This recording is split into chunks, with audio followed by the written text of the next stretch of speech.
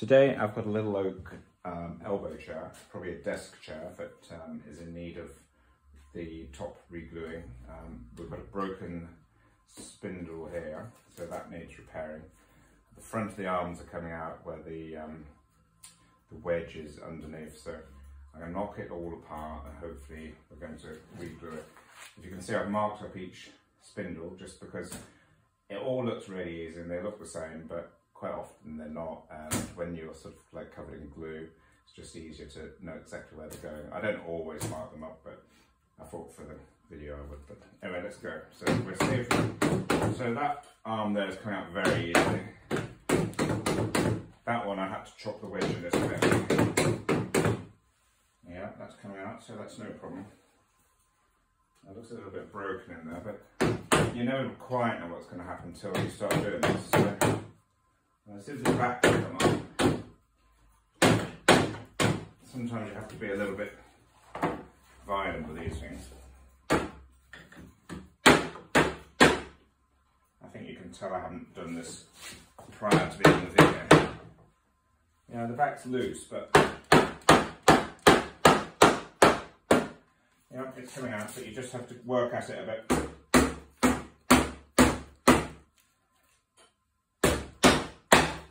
My mallet's broken. Well, it's pretty old. I think I've had it for about 25 years. And it was rubber and it's perished. So that's the end of that. Um, fortunately, I've got another rubber mallet because they're quite useful. So.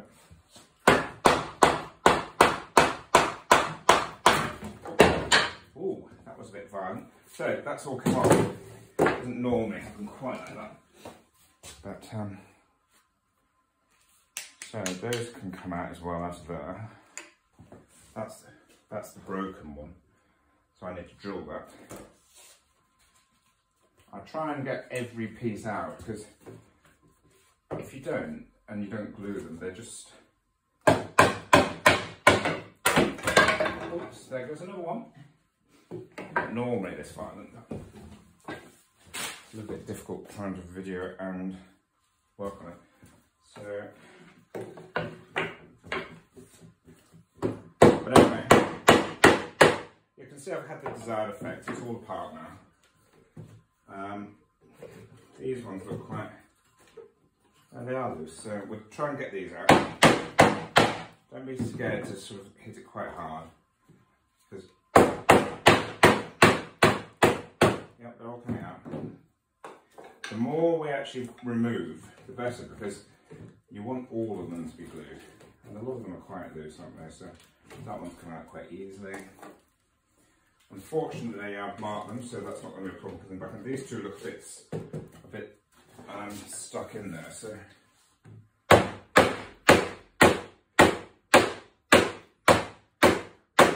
No, that one's out. I think that one's probably stuck too hard. If you really wanted to get it out, what you can do is put methylated spirits down between the tiling and that will break the glue joint. But to be honest, I think that's good enough. We've got most of them out. And it won't, so that back one will come out because you can see it's wobbling already. So you might as well do that while we're at it. Just take that off. From that side. So, so, that wasn't that hard to get out, was it? So that was worth taking out. Um, got one left in it's always a bit difficult to get these ones out because when you start hitting the top of the cresting rail, you might damage the sort of cutout. That's come out quite easy, so there we go. That's weird, it says six on there and I've written five, so we'll just change that. So, we now know that one So they're all marked, so that's going to be quite easy now putting them back together if I can find them because they're put on the floor. Uh, let's got those two middle ones. Right. We don't need to do much gluing up and then cleaning up because it looks pretty clean already. So the next thing to do is to repair this little spindle which came out of here. So And I'm going to drill a hole into the spindle and into the chair. And to do that, I'm going to use a drill with a little point on it. Try and get the hole angled exactly the way the spindle's angled, because otherwise the spindle's going to not be, be If you don't angle it, the spindle will pull in the wrong direction. I'd normally put this in the vise, but for the video I'll do it in by hand. And you can see it's a really simple process. I've made sure I've got a drill that's the right size, so I tested it on a piece of pine first rather than drilling this and trying to drill the wrong size because that's really frustrating. So I'm just going to drill the right size now for the dowel.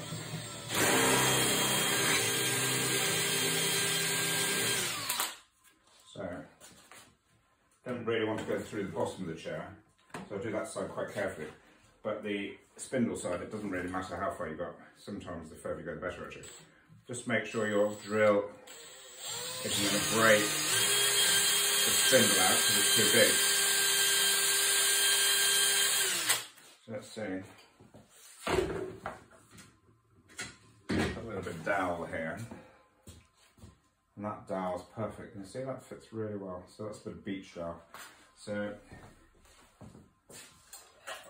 that was a very quick, quick process. So what I've got to do now is I'm using my old animal glue. That's not old, it's an old technique. And I'll just put a little bit of glue on the dowel and push that into the spindle. The most important thing is it's um, not too long to go in there, so when you glue the chair up, it stops the chair gluing. So I just tap it in, just put it up to the chair so you can see. You can see that's not that's not going in properly. Oh, actually, actually it's perfect. So there we are. So what I'll do now is start gluing in the gluing the dowels back in. Well, the spindles. Sorry. So that one's gone back in and that's now been repaired properly. That's a proper repair. Um, and that will be absolutely fine and give you no problems in the future. The other good thing about having the um, tape with the numbers is you know exactly where it goes, but it also knows, makes you remember to put it the right way up because it's quite easy to put spindles back in the wrong way around. And then when you glue the chair up and you come to look at it and think, oh, and you're a bit stuck then when it's but you see, it, it's really easy process. Just make sure the turning's in the right place. You do this before you strip the chair, which is quite handy because the polish will show you exactly which way round the turning went. So where's number four? That's an X, so that was at the front. I think somebody's done this in the wrong the wrong way before actually, but you can. It's very clear how they go. This um, glue I'm using is an old animal glue and it's hot when you put it on, so you have to work fairly quickly. That's why I'm going to do all the spindles into the chair and then I'm going to put the arms on when these are put in. And sometimes it's a bit difficult to get it all, all back on properly, but I suspect it'll be okay today. And I put the two back spindles in. It's a very simple process, but if you're going to restore a chair, there's absolutely no point restoring it without gluing it up because you can't knock a chair around like I've just done with this one when it's got a re when you just refinished it, you've just damaged what you've just done. So if this and it needs to be done first, but it also needs to be done before you polish it. And the reason for that is that um, when you polish it, um, you will knock off quite a lot of the um, the glue, so what makes that sort of side of it much easier. This front leg isn't great, hopefully it'll be alright, but the um, dowel is quite broken, so I might have to later on drill from the bottom, but we'll see how we go. I'm going to put quite a lot of glue on these. And the good thing with the animal glue, it sort of sits there. It doesn't just run off, which makes it much easier when you're putting on, you know, up multiple things. I'll put a bit of glue in, actually into the um, broken wedge. I would have liked to repair that, but sometimes you just need to keep moving.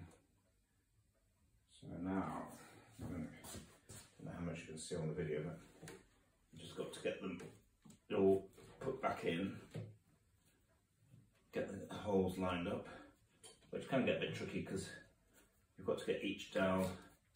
Obviously, if one dowel is too high on the other, it's not going to go.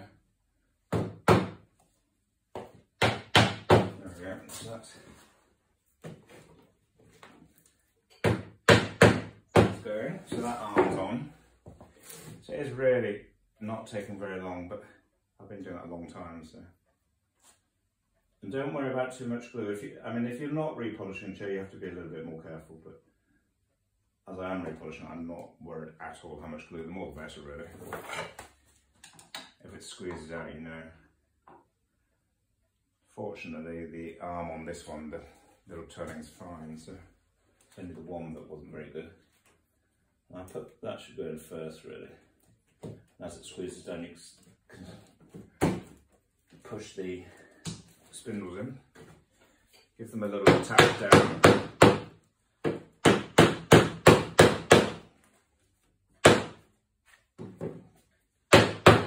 Right, now we've just got the back. And because I've done the two arms, um, you know, it's just doing the process the right way around to make the job easy. So I'm going to lay the chair down for a minute just to get the glue onto the back more easily. You could use a PVA, um, but PVA, PVA tends to be very runny. This old animal glue is fantastic for staying in place where you put it. And the other thing is it's reversible, so if the chair gets broken in the future, somebody will be able to use heat or water or methylated spirits to break the joint and repair it. But if you use epoxy resin on these, that's it. It makes it very difficult in the future. Epoxy resin is a great glue, but there's time and place for it, and it's not here. So you can see I've got loads of glue and it's running off, but that's really not important. So let's see if we can get the back on easily. I'll start with one end, work our way along. Sometimes it's nice when you've got a friend to help out or somebody to work with. Uh, I used to employ somebody, but now it's a bit tricky. So you can see I've got to get them all aligned with the holes before any of it will go down, and that takes a bit of working out. Sometimes you work from one end, sometimes you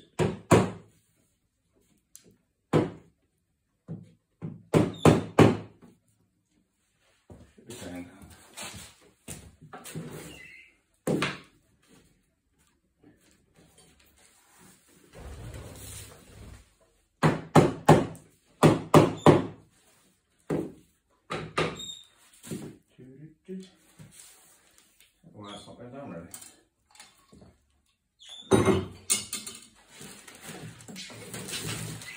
No, they all look like they're in apart from this one.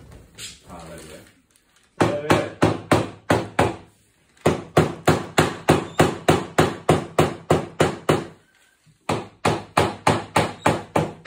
Taking a bit of tapping because the glue is drying a bit. Um, if in any doubt, you can just use a sash clamp just to help you push it a bit further on. So this is what I'm going to do here. I'm just going to get a sash clamp just to help me push it down. I, don't, I probably don't need it to be on there after it's pushed down, but it will just, generally this will just help, but we'll see.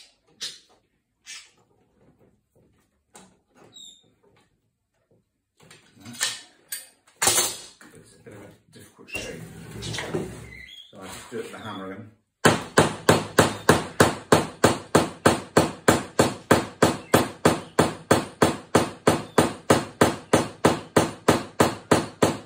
getting that.